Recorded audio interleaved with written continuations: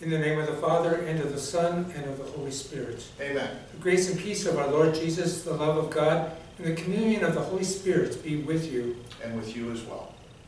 We gather together knowing that even though we may be isolated from family and friends, we are united in spirit, God's Spirit, God's gracious and loving Spirit as we journey through this serious time, knowing that indeed we remain faithful and we are people of hope. To prepare ourselves today, let us be mindful of our need for God's mercy. Lord Jesus, you speak true wisdom. Lord, have mercy. Lord, have mercy. Christ Jesus, you give us priceless treasures. Christ, have mercy. Christ, have mercy. Lord Jesus, you show us the reign of God. Lord, have mercy. Lord, have mercy. May Almighty God have mercy upon us, forgive us of our sins, and bring us to life everlasting. Amen. Glory to God in the highest, and on earth peace to people of good will. We praise you, we bless you, we adore you, we glorify you. We give you thanks for your great glory. Lord God, heavenly King, O God, Almighty Father, Lord Jesus Christ, only begotten Son, Lord God, Lamb of God, Son of the Father, you take away the sins of the world, have mercy on us. You take away the sins of the world, receive our prayer. You are seated at the right hand of the Father, have mercy on us. For You alone are the Holy One, you alone are the Lord, you alone are the Most High, Jesus Christ, with the Holy Spirit, in the glory of God the Father. Amen. Let us pray.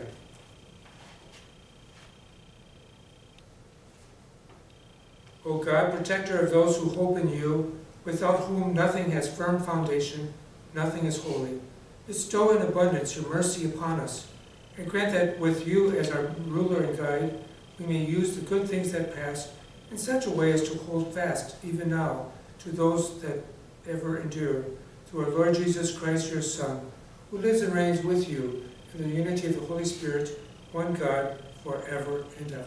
Amen.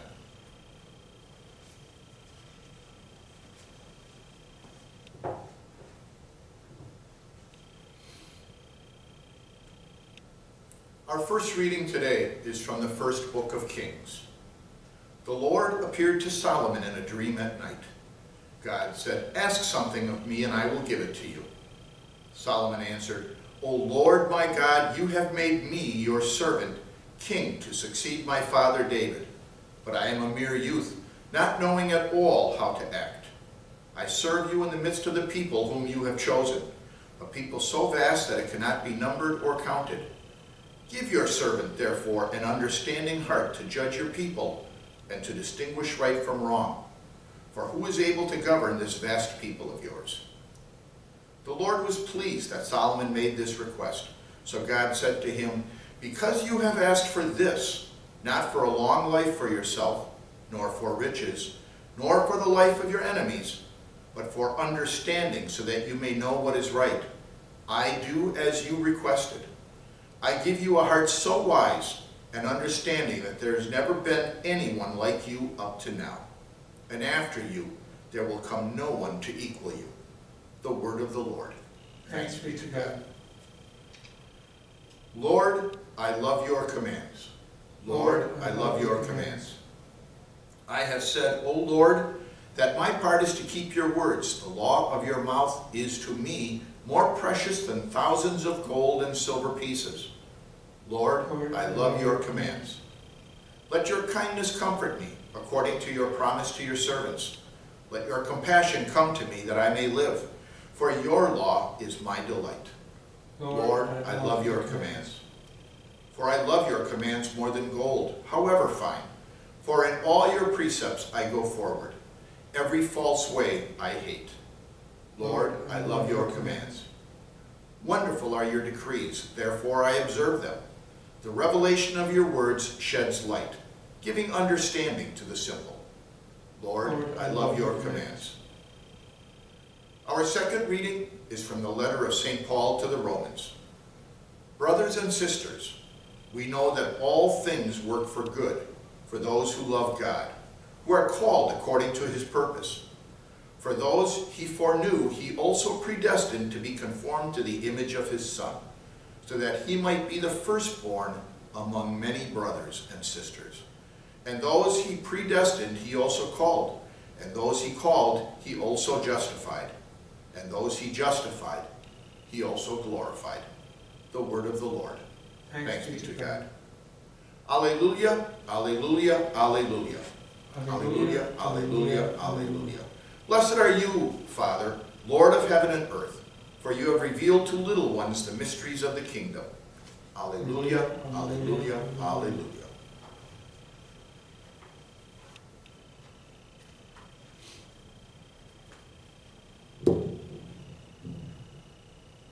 The Lord be with you. And with your spirit. A reading from the Holy Gospel according to Matthew. Glory to you, Lord. Jesus said to his disciples, The kingdom of heaven is like a treasure buried in a field, which a person finds and hides again. And out of joy goes and sells all that he has and buys that field. Again, the kingdom of heaven is like a merchant searching for fine pearls. When he finds a pearl of great price, he goes and sells all that he has and buys it. Again, the kingdom of heaven is like a net thrown into the sea, which collects fish of every kind. When it is full, they haul it ashore and sit down to put what is good into buckets. What is bad, they throw away. Thus it will be at the end of age. The angels will go out and separate the wicked from the righteous and throw them into the fiery furnace, where there will be wailing and grinding of teeth. Do you understand all these things? They answered, Yes. And he replied, Then every scribe who has been instructed in the kingdom of heaven is like the head of a household who brings from his storeroom both the new and the old. The Gospel of the Lord. Praise to you, Lord Jesus Christ.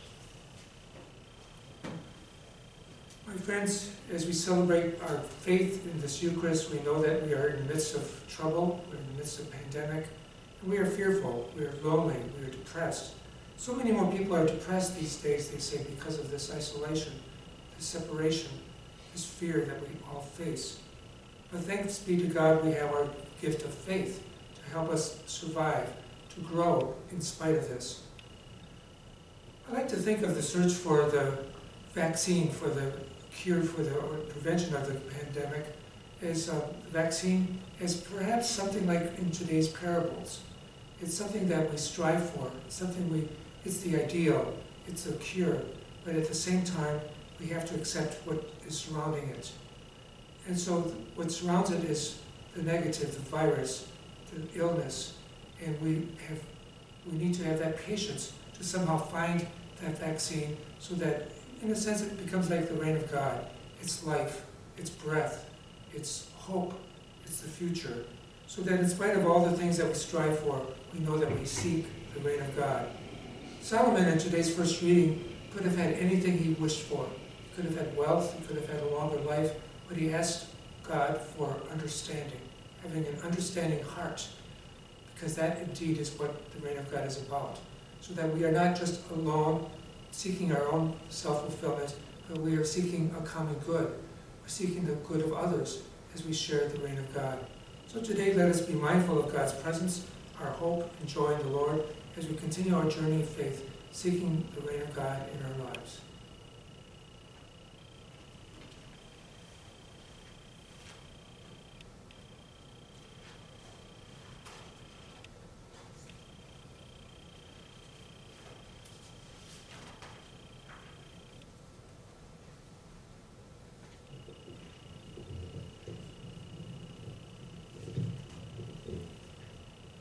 I believe in God, the Father Almighty, creator of heaven and earth, and Jesus Christ, his only Son, our Lord, who was conceived by the Holy Spirit, born of the Virgin Mary, suffered under Pontius Pilate, was crucified, died, and was buried.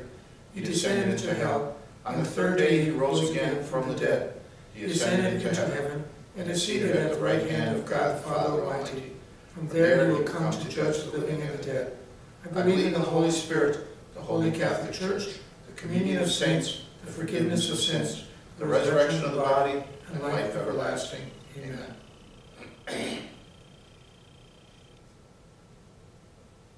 Today we present to the Lord these our petitions. For all who minister in the church, eager to share its lasting treasure, we pray to the Lord.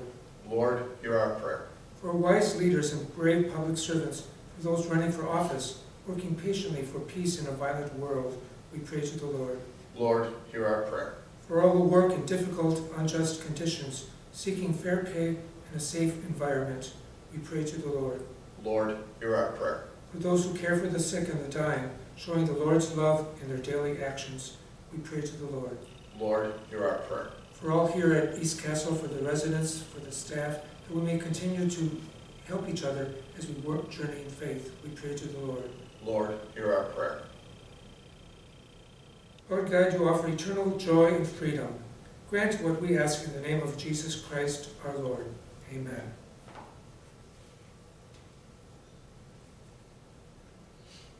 Blessed are you, Lord God of all creation, for through your goodness we receive the bread we offer you. Fruit of the earth and work of human hands, it will become for us the bread of life. Blessed be God forever.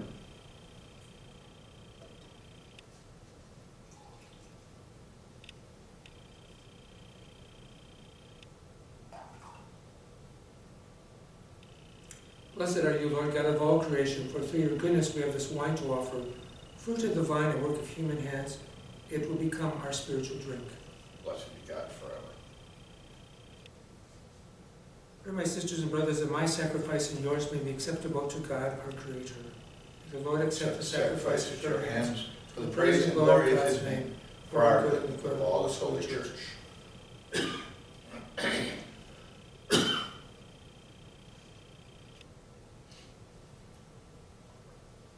Accept, O Lord,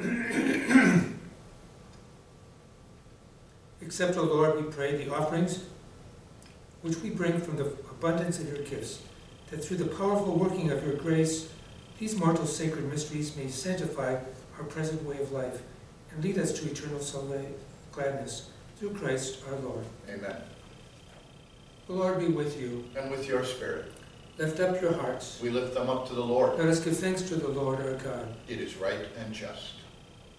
It is truly right and just, our duty and our salvation, always and everywhere to give you thanks, Lord, Holy Father, Almighty and eternal God. For you so loved the world that in your mercy you sent the Redeemer to live like us in all things but sin, so that you might love in us what you loved in your Son, by whose obedience we have been restored to the gifts of yours that by, sin, by sinning we had lost in disobedience. And so, Lord, with all the angels and saints, we too give you thanks, as in exaltation we acclaim. Holy, holy, holy, holy Lord, God of power and might, heaven and earth are full of your glory. Hosanna in the highest. Blessed is he who comes in the name of the Lord. Hosanna in the highest. You are indeed holy, O Lord, the fount of all holiness. Make holy, therefore, these gifts, we pray, sending down your Spirit upon them like the dewfall, so that they may become for us the body and blood of our Lord Jesus Christ. At the time he was betrayed and entered willingly into his passion, he took bread and giving thanks, broke it and gave it to his disciples, saying, Take this, all of you, and eat of it, for this is my body, which will be given up for you. In a similar way, when supper was ended, he took the chalice, and once more giving thanks, he gave it to his disciples, saying, Take this, all of you, and drink from it. For this is the chalice of my blood, the blood of the new and eternal covenant, which will be poured out for you and for many, for the forgiveness of sins. Do this in memory of me.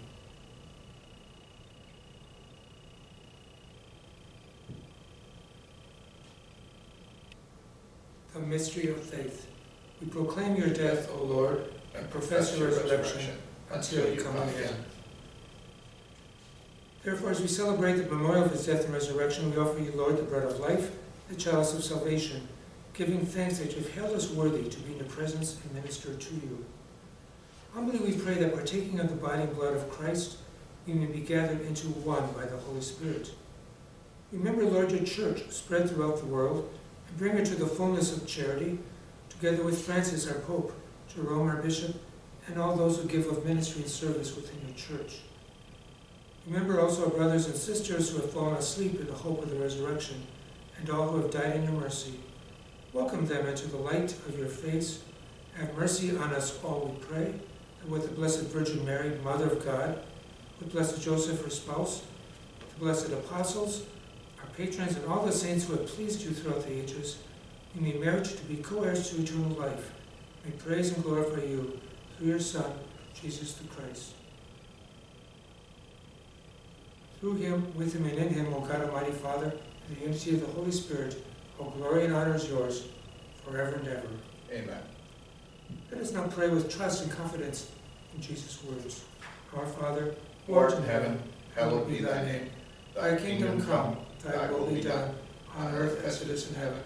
Give us this day our daily bread, and forgive us our trespasses, as we forgive those who trespass against us. And lead us not into temptation, but deliver us from evil.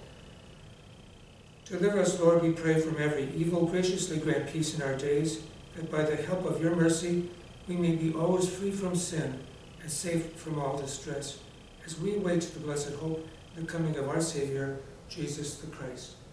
The kingdom, the power, and the glory are yours, now and forever. Lord Jesus Christ, you said to your followers, Peace I leave you, my peace I give you. We ask you today to look not upon our sins, but rather upon the faith that we share as your church. And graciously grant us peace and unity in accordance with your will, who live and reign forever and ever. Amen. Peace of the Lord be with you always. And with your spirit. Lamb of God, you take away the sins of the world, have mercy on us. Lamb of God, you take away the sins of the world, have mercy on us. Lamb of God, you take away the sins of the world, grant us peace.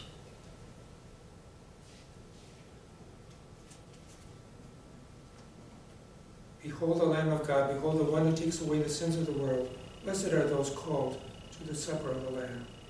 Lord, Lord I am not worthy that you should enter under my roof, but only say a word, and my soul shall be healed.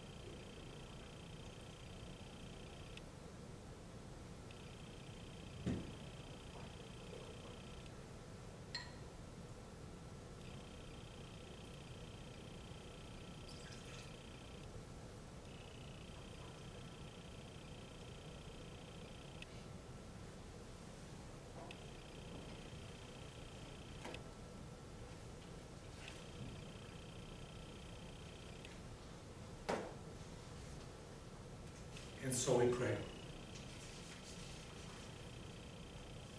We have consumed, O Lord, this divine sacrament, the perpetual memorial of the passion of your Son. Grant, we pray, that this gift, which he himself gave us with love beyond all telling, may profit for us salvation through Christ our Lord. Amen. The Lord is with you. And with your spirit. May God's blessing be upon us all, the Father, and the Son, and the Holy Spirit our Mass is ended, we go forth this week to love and serve the Lord. Thanks be to God. God bless you.